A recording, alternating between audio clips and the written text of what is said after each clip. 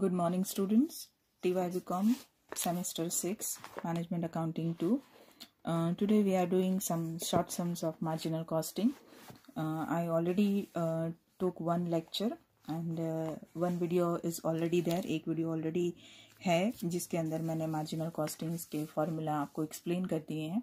अब हम थोड़े शॉर्ट सम्स करेंगे। So this is the 22 and 23rd third edition year 22 and 23rd third edition new syllabus के हिसाब से। uh, और उसमें हमारा first sum on page number 299 the first and second both we are doing both the sum दोनों ही short sums हम कर रहे हैं। सबसे पहला फ़र्स्ट वाला सम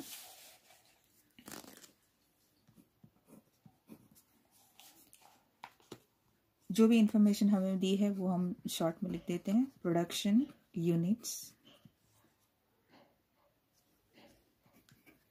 ten thousand units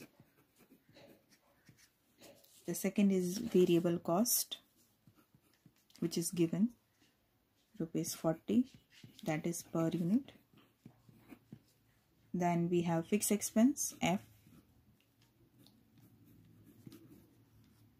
and that is 2 lakh rupees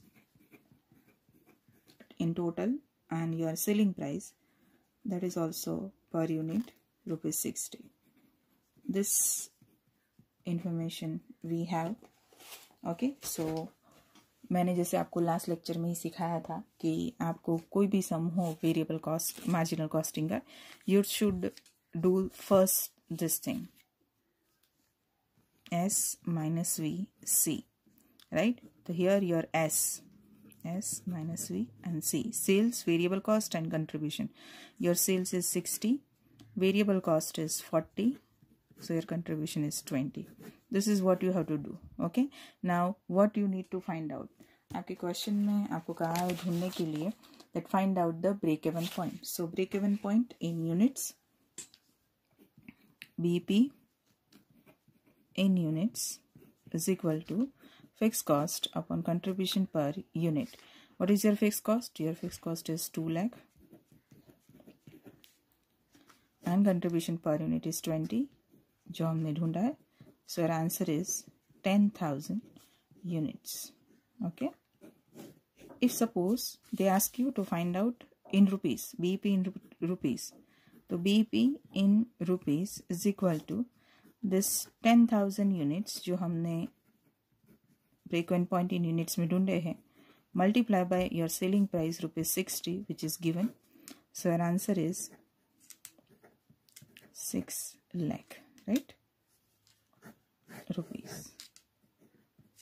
This is our first sum. Second. Second is fixed cost 80000 is given. F 80000 then variable cost rupees 4 then your sales 2 lakh rupees this is total and this is selling price per unit, rupees 20 okay? आपको क्या ढूंढना है? Again you need to find out break even point so सबसे पहले what you have to do S V C your selling price is twenty your variable cost is rupees four your contribution is sixty ये सबसे पहले आपको कर देना है। Okay चलिए B P in units is equal to F upon C what is your fixed cost? Your fixed cost is 80000 which is given. What is your contribution? 16 so your answer is 5000 units. Now in both way you can find out bp in rupees. So first is very simple. Bp in rupees. Multiply 5000 units which is your bp sales in units. Multiply by multiply with rupees 20 which is your selling price per unit. So, your answer is one lakh rupees. Okay. और एक दूसरा तरीका है, जो formula का है, जो मैंने आपको सिखाया है that is let's do over here BP in rupees is equal to F upon PV ratio now first of all we need to find out PV ratio So PV ratio is equal to C upon S into 100.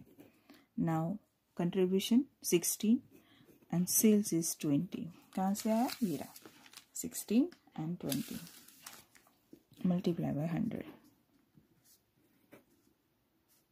80 percent okay so your pv ratio is 80 percent here your f fixed cost fixed cost is there 80000 and your pv ratio is 80 percent Okay so यार B P इन rupees आपका जो B P है, वो in rupees one lakh rupees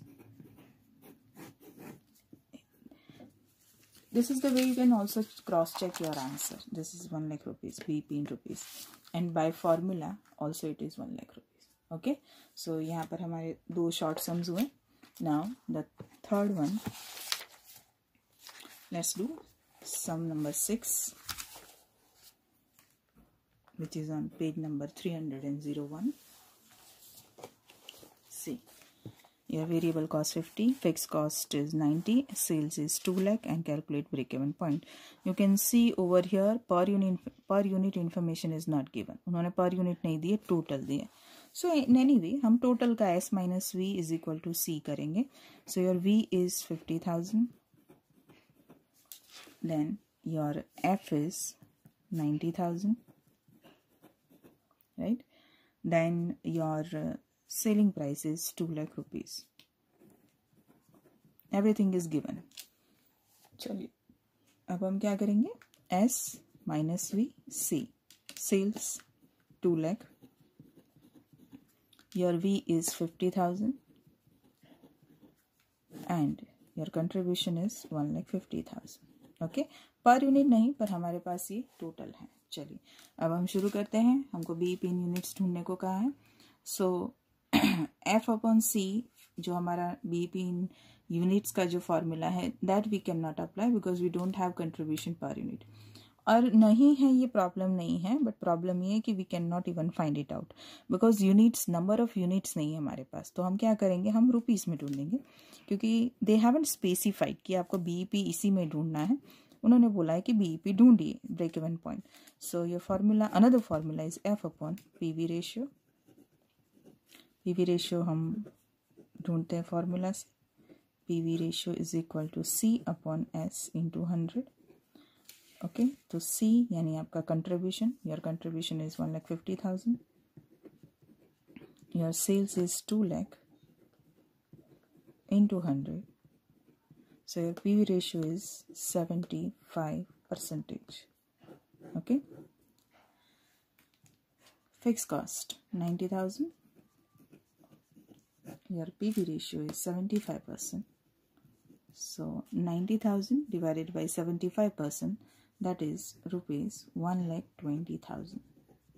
That is your BP in rupees, break even point in rupees. Okay, so this uh, ये तीन सम हमारे हुए The first and second is almost similar. लेकिन मैंने फ़र्स्ट में बी पी रुपीज़ में नहीं ढूंढा है सेकंड में बी पी रुपीज़ में दोनों तरीके से ढूंढा है एक यूनिट से मल्टीप्लाई करके और दूसरा by way of formula right और ये सिक्स नंबर का है जिसमें हमारे पास बी पी इन यूनिट्स नहीं है रुपीज़ ही हम ढूंढ सकते हैं okay now let's do one another sum now sum number four that is on page number three hundred The following information is supplied in respect of a factory. Output हैं 70,000 units. So i'm writing over here important information outputs 70000 units. Okay. Then we have fixed expense f 1 lakh 80000 rupees.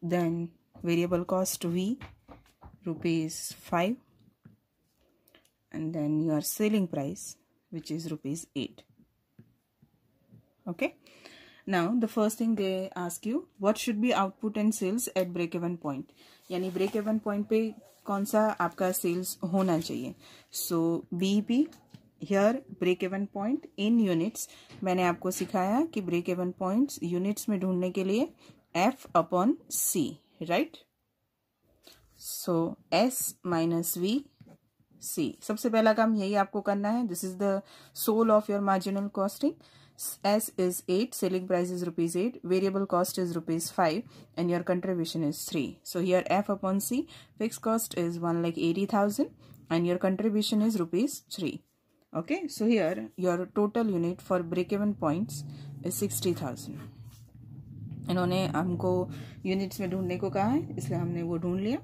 Second thing if the selling price is reduce to rupees seven जो second ये this is the first question this is the second if the selling price, that is new, if the selling price is reduced to, यानी सात रुपए तक अगर आ जाती है selling price how many unit should be produce to yield the same amount of profit as at present अभी हम जितना प्रॉफिट कमाते हैं, उतना कमाने के लिए हमें कितने यूनिट्स बेचने चाहिए? When our new selling price is rupees seven तो सबसे पहले तो हमें ये पता होना चाहिए कि हम कितना प्रॉफिट कमाते थे। That is old profit that we can find out from over here कैसे? Selling price eight multiply by rupees sorry eight is rupees multiply by units your units are seventy thousand units okay तो हम, अगर हम seventy thousand unit से multiply करते हैं आठ को तो फाइव लैख सिक्सटी थाउज़ेंड आपकी टोटल सेलिंग प्राइस आएगी। Minus variable cost variable cost five rupees है. Five rupees multiply by again seventy thousand units तो यहाँ पर आएगा आपका three lakh fifty thousand variable cost total okay five sixty में से थ्री फिफ्टी माइनस करेंगे तो टू लैख टेन थाउज़ेंड आपका कंट्रीब्यूशन आएगा. और उसमें से हम फिक्स कॉस्ट माइनस करेंगे तो हमें प्रॉफिट आएगा. Fix cost will remain same one lakh eighty thousand तो हम one lakh eighty thousand minus करते हैं। Two ten minus one eighty so आपका जो प्रॉफिट है, वो थर्टी थाउज़ेंड रुपीज़ आएगा। This is old profit why old profit because you have now a new selling price rupees seven ठीक है? ये आपका पुराना प्रॉफिट है थर्टी थाउज़ेंड और ये आपकी नई सेलिंग प्राइस है। तो ये बोलता है कि थर्टी थाउज़ेंड प्रॉफिट ही कमाना है विद दिस सेलिंग प्राइस तो कितने यूनिट्स बेचने चाहिए? तो अगेन आपको वो फॉर्मूला लगाना है which one formula but before writing down any formula you have to again find out S minus V is equal to C why because आपकी सेलिंग प्राइस चेंज हो गई है। That is rupees seven variable cost remain same क्योंकि उन्होंने कोई change बोला नहीं है, इसलिए so your new contribution is rupees two now, we are applying our find formula to find out the sales, which is necessary sales.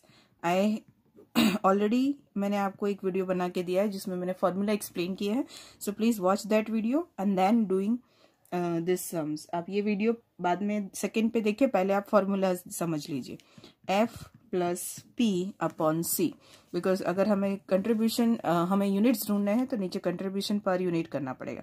Fix cost will remain same one lakh eighty thousand हमारा जो profit है, हमें वही कमाना है thirty thousand so we will write down over year thirty thousand divided by new contribution which is two so two lakh ten thousand total and two से हम divide करते हैं one one lakh five thousand units ये हमारा answer.